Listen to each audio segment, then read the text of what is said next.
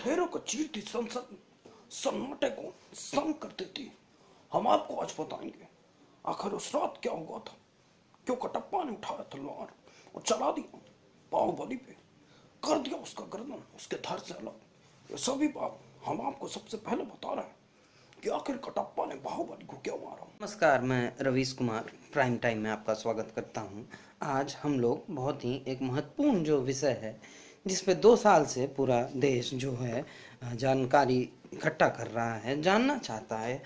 पूरी देश, पूरा देश इतना उत्साहित है, लोग बहुत ही उत्साहित हैं और वो जानना चाहते हैं कि आखिर कटप्पा ने बाहुबली को क्यों मारा था। हमारे साथ इस वक्त बीजेपी के प्रवक्ता भी मौजूद हैं।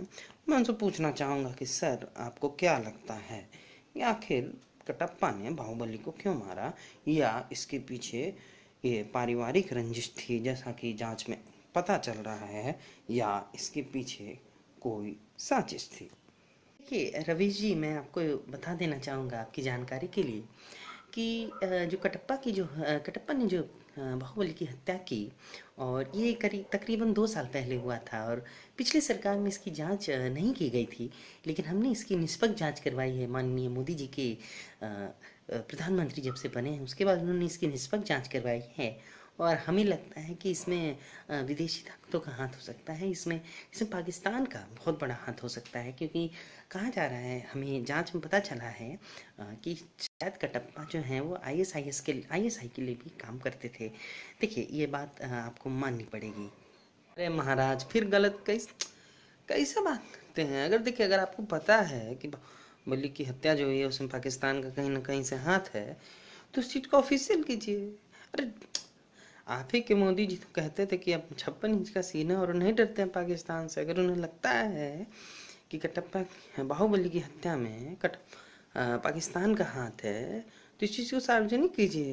ये ये कौन सी बात है? हमें देश के संविधान पे अटूट विश्वास है और इस और इस चीज़ को हम कभी गलत इस्तेमाल नहीं करते हैं संविधान का। हमें इस पर अटूट विश्वास है।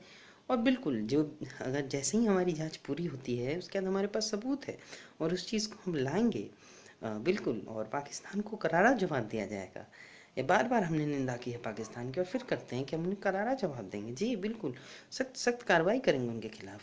आपकी तो आप लोगों की जो पॉलिटिशियंस है, उनका तो पुराना ये जुमला रहता है कि जाँच चल रही है। तो आप लोग जाँच कीजिए। मैं खुद बाहुबली मूवी देख के आता हूँ और पता करके आता हूँ कि कटप्पा ने बाहुबली को क्यों मारा।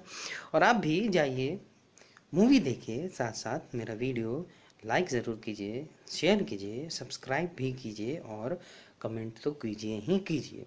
मैं रवीश कुमार आपसे फिर से